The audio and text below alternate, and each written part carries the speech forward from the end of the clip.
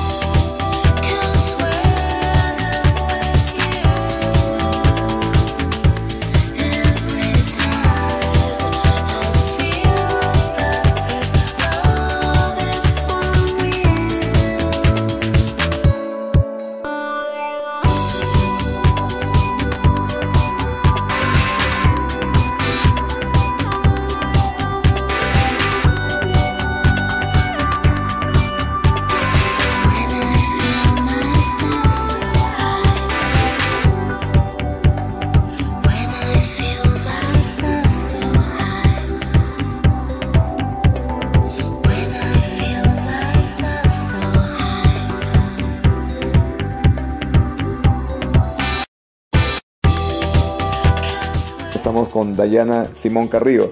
Dayana, ¿cómo has visto pues estas actividades que han pasado, diferentes eh, actividades que se ha presentado dentro de lo que viene a ser pues nuestra provincia de Oxapampa y sobre todo en estas fiestas patrias? La verdad es que el turismo en Oxapampa cada año veo que incrementa más, sobre todo en estas fechas, ¿no? Hemos tenido distintos eventos, como lo que era la, el Oxa Café, que es una feria de, donde los, los, productores van a ofrecer las distintas variedades de café que puedan tener. Hemos tenido el de Oxa Rodeo Fest que se ha llevado a cabo los días 29 y 30 de julio. Hemos tenido diversas actividades, en el parque también un pasacalle, destreza forestal y muchas otras actividades más, ¿no? Eh, que se han ido presentando a lo largo de esta semana de fiestas patrias. Hemos tenido eh, muchos invitados, amigos turistas y se han ido muy contentos por la acogida que Oxapampa les ha dado.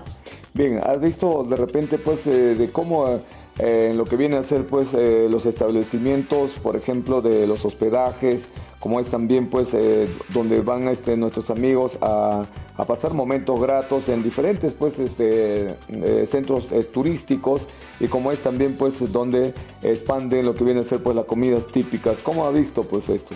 Así es, bien sabemos que como son fechas festivas, no fiestas patrias y otras fechas más que pueden haber aquí en Oxapampa, los hospedajes han estado repletos de personas, todos los turistas han estado llegando, eh, algunos han tenido quizás que, separar con anticipación su hospedaje para poder llegar a Oxapampa y así tener una estadía tranquila. ¿no? En, lo, que es cuestión de platos típicos, la mayoría de, personas o turistas que han llegado les ha gustado eh, los platos típicos de la zona, en los lugares turísticos también este se les ha acogido de una buena manera, ¿no?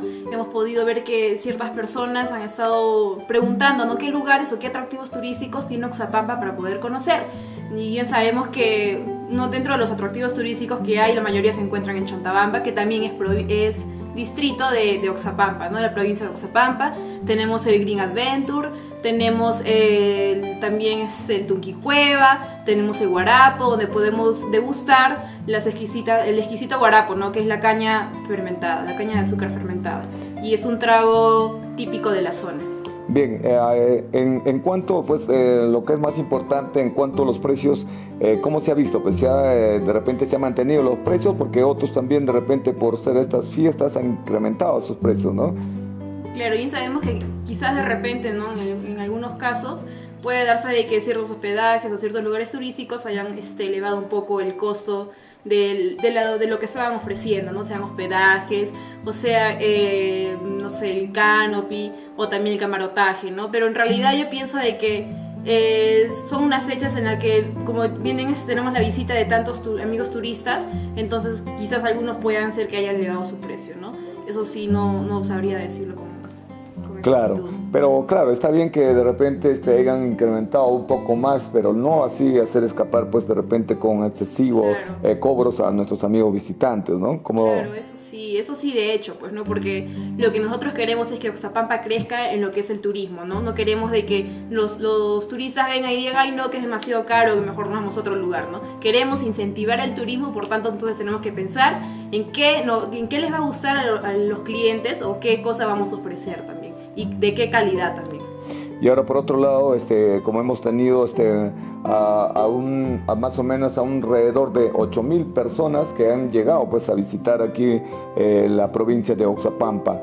Y bien, pues la gente está muy contenta, y, pero por otro lado también eh, algunos se han quejado porque han dejado pues, este, bastante, como se dice, desperdicios dentro de lo que viene a ser pues, eh, la plaza de armas, entre así pues otros lugares dentro de la provincia de Oxapampa. ¿Cómo ves? Yo pienso que eso ya depende bien de la educación desde casa, ¿no? Siempre se enseña en la casa de que, o toda la vida, no solamente en la casa, también en el colegio, ¿no? Se ha enseñado de que todos los desperdicios, todos los residuos sólidos generados se deben de desechar en los respectivos tachos, ¿no? Por ejemplo, aquí eh, tenemos contenedores que pueden ser este, orgánicos, inorgánicos, papeles y plásticos, ¿no? Es una manera de ayudar y de contribuir también con la reducción de residuos sólidos y así poder evitar lo que es la contaminación ambiental. Qué bueno. Por otro lado, también eh, hemos visto también que has participado pues, en diferentes actividades. Una de ellas es que hemos estado viendo nosotros que has participado una vez también en lo que viene a ser pues mis este Miss Oxapampa. ¿En qué año ha sido eso? Así es, eso ha sido en el 2013, hace tres años aproximadamente. 2013, ¿no? De, eh, ¿Qué más o menos has quedado como qué? Eh, quedé en, tuve, cuando obtuve el lugar de mi simpatía, ¿no? Mi simpatía, ¿no? ¿Qué tal? Como mi simpatía, ¿cómo te ha ido pues en ese año? Me fue excelente, una muy bonita experiencia realmente. Eh, he visto también, claro, he visto también pues que has visitado pues por ejemplo lo que viene a ser pues la región de Tacna, ¿no? Así es, eh, justo en el año 2014, inicios del 2014, eh, recibí una invitación de parte de la Municipalidad Provincial de Oxapampa pidiéndome de que por favor podría acompañarlos con la delegación del, elenco, del elenco de danzas Rescatando Raíces a, la, Tacna para así poder este, participar en lo que era el aniversario del distrito Gregorio Albarracín, ¿no? El alcalde nos acogió, nos dio la bienvenida, muy atentos, muy amables, nos ofreció hospedaje, los viáticos, ¿no? Muy bonito, la pasamos perfecto, magnífico.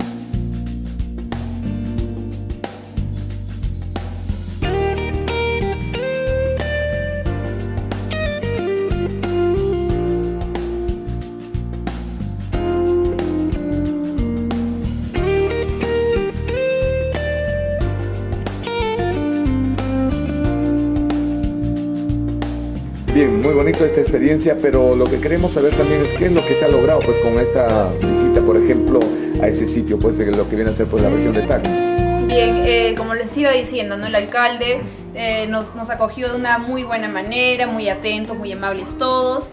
Nos invitó a un pasacalle de más o menos aproximada de 40 42 cuadras, eh, donde cada, cada este, no solamente éramos nosotros los que participábamos, ¿no? no solamente era Oxapampa, sino también estaban los de Posuso, también estaban los distintos países como México, Colombia, eh, Bolivia, también vinieron los de Huaraz y muchas personas más ¿no? que apoyaron y cada quien iba con su cultura, con su tradición y su vestimenta y algunos acompañaban con ciertos bailes para poder eh, motivar más a este, la presencia de este evento, ¿no? Es más, lo que logramos con, con, esta, con la presencia o con nuestra presencia ¿no? allá en el distrito de Gregorio Barracín, en la región Tacna, fue incentivar el turismo, ¿no? mostrar o enseñar cuál era nuestra cultura y así puedan conocernos de una manera más profunda ¿no? y poder visitarnos de algún modo a Capsapampa.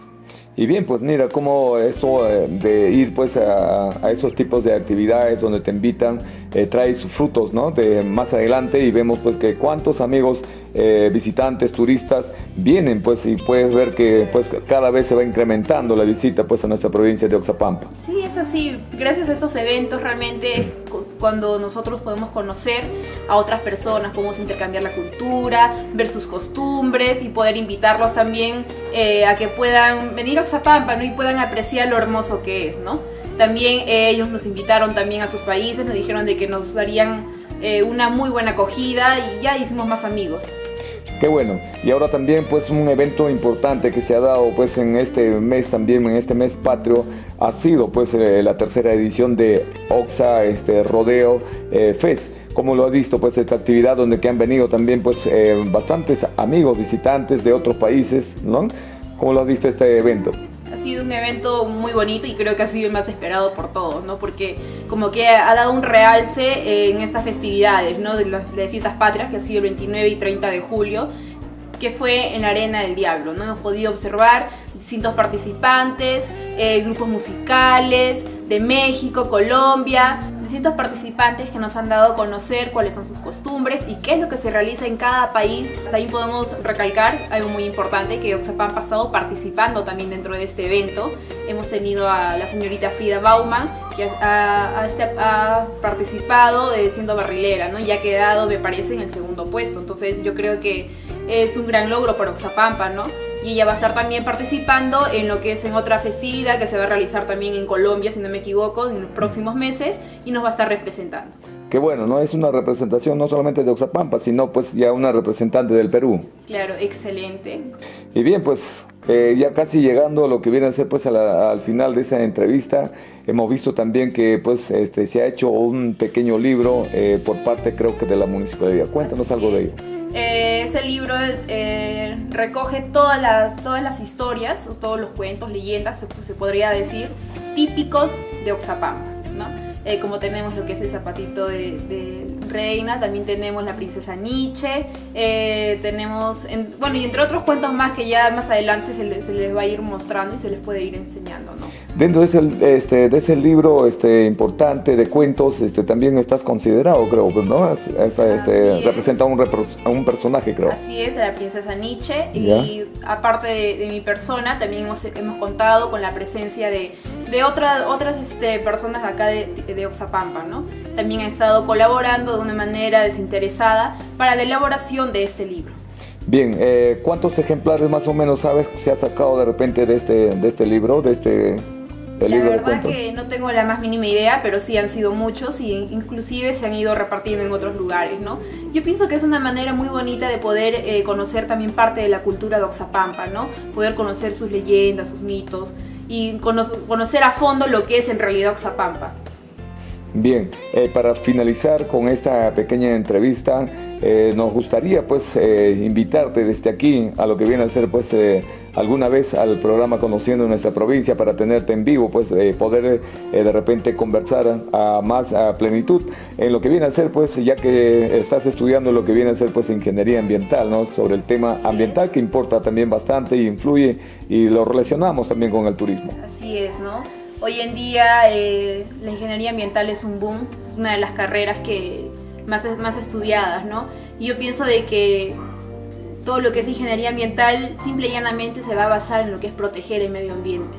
Nosotros incentivar a nuestros hermanos a cuidar, preservar y proteger el medio ambiente, que es patrimonio cultural, y también eh, Oxapampa, que vendría a ser reserva de biosfera. ¿no? Entonces, por ende, todo Oxapampino, si forma parte de una reserva de biosfera, tiene que participar conjuntamente para poder lograr un bienestar ambiental. Bien, eh, ¿cuál sería pues de repente el llamado, de repente alguna recomendación a nuestros amigos pues eh, oxapampinos en cuanto a conservar el medio ambiente, ya que se está viendo también pues como puedes observar este, muchas quemas, ¿no?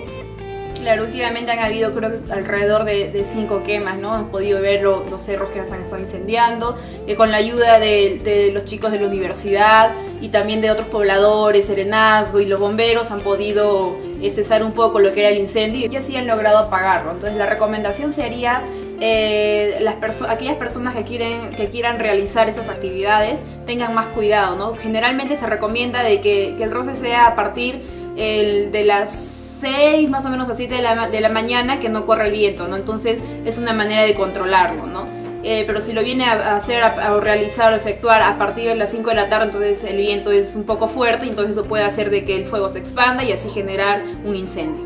De repente el agradecimiento, el saludo a lo que viene a ser pues el programa Conociendo nuestra provincia. Un saludo muy especial a la familia de Ecológica Noticias, Conociendo nuestra provincia. Gracias por la invitación y espero apoyarlos siempre que pueda.